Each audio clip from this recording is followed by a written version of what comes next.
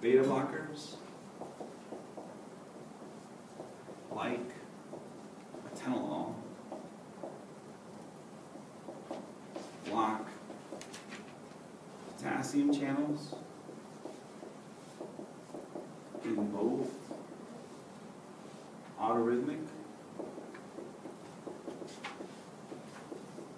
and cardiac muscle cells.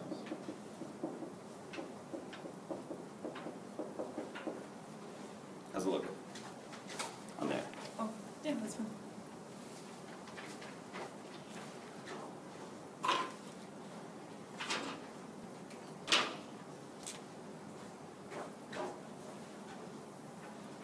So over here, we'll do autorhythmic first. And then we'll do cardiac muscle over here.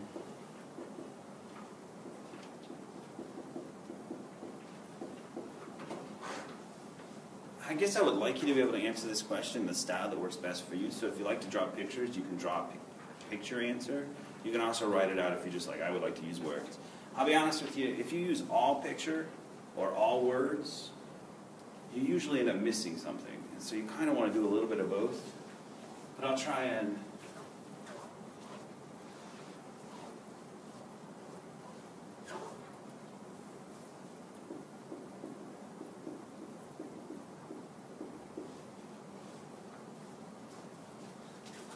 I shouldn't put this on YouTube. Autorhythmic is one of those words where you have to write it really fast. Otherwise, you don't get it right. So the way I would answer this question is I would say, I'm going to draw an action potential. Am I getting, am I getting too far over? No. I still- You stop before. So I would say normally an autorhythmic cell looks like this.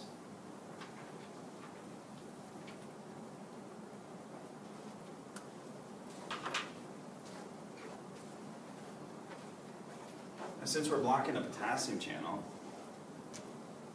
this is not going to be changed because that's sodium leak. This is not going to be changed because that's the calcium channel. We're affecting the potassium channel. But if we block the potassium channel, this potassium will not be able to leave as quickly. So the voltage will not go back down as fast. So sodium will take longer to get out of the cell.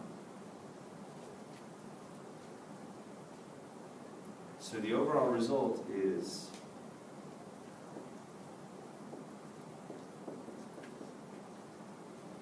you're going to decrease heart rates, which will decrease cardiac outputs. Now, we haven't talked about cardiac output yet, but we're going to draw that graph up. And I would like all of your cardiac drugs to end on how does it affect cardiac output.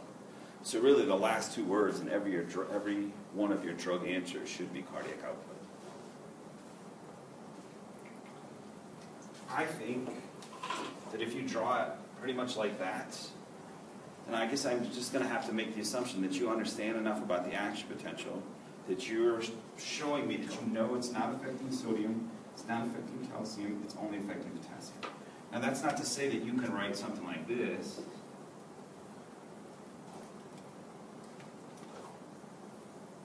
And that that shows me that you know what's going on. So that would not be worth credit because you're not showing me the specific shape of the autorhythmic action potential and the specific effect of the beta blocker on, so on potassium. Now you may say, I don't really like to draw these things. I would like to write it. And so what you would say is atenolol blocks potassium channels in AR cells.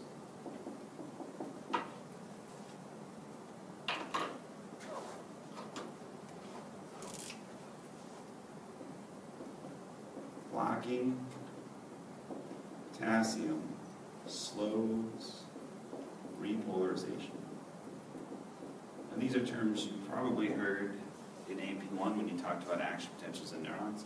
But this is called depolarization, whereas this is called repolarization. And because this is happening slower, we're slowing repolarization. Slowing repol, stretches, the action potential, and you can use the abbreviation AP, out, and slows heart rate. Slowed heart rate equals a decrease in cardiac output. You'll see that it's a little bit more complex than that, but we can we can keep it that simple. That if you decrease heart rate, you're going to decrease cardiac output. Now it's a little more challenging over here because, in all honesty, this would be the action potential in normal.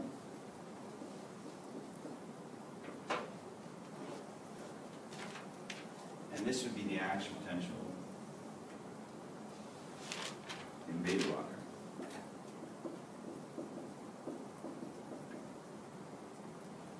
They'll look the same. But underneath, in normal, we will have lots of calcium entering and lots of potassium leaving. But in the case of beta blocker, draw it down here. Beta blockers block potassium channels in the cardiac muscle. So what's going to happen here is potassium cannot leave as well. You block channels that are letting potassium out. Since potassium and calcium are linked, that means less calcium in. So here what I'm trying to draw is lots of potassium leaving, and since that's linked to calcium, a lot of calcium can come in. In beta blocker, you block the potassium channel, which I'm trying to just draw as a smaller arrow, not as much potassium can leave. Which means not as much calcium can in. Since that calcium is causing muscle contraction, this will decrease contractility, which will decrease cardiac output. Again, if you wanted to use words instead of pictures, you would say something like beta blockers block potassium channels in cardiac muscle.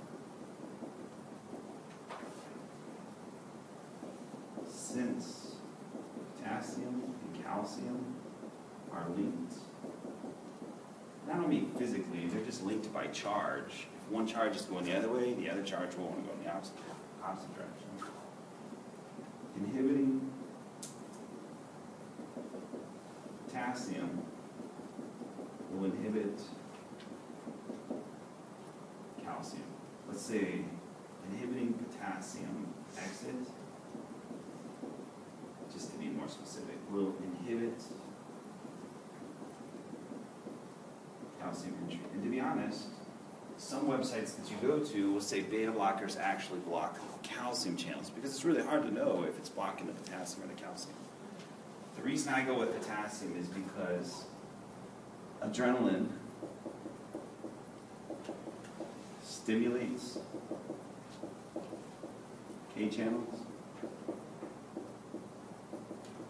and beta blockers block adrenaline.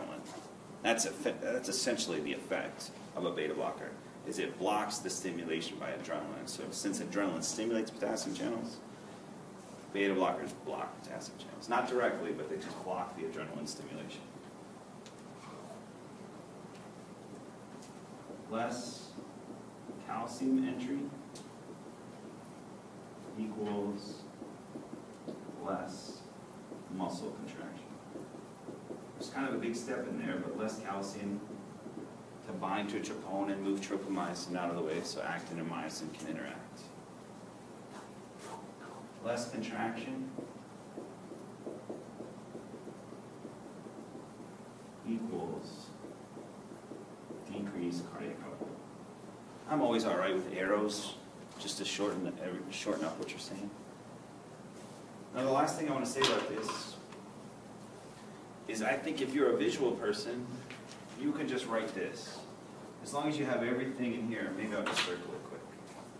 If you're a visual person, you can go ahead and just, you might want this.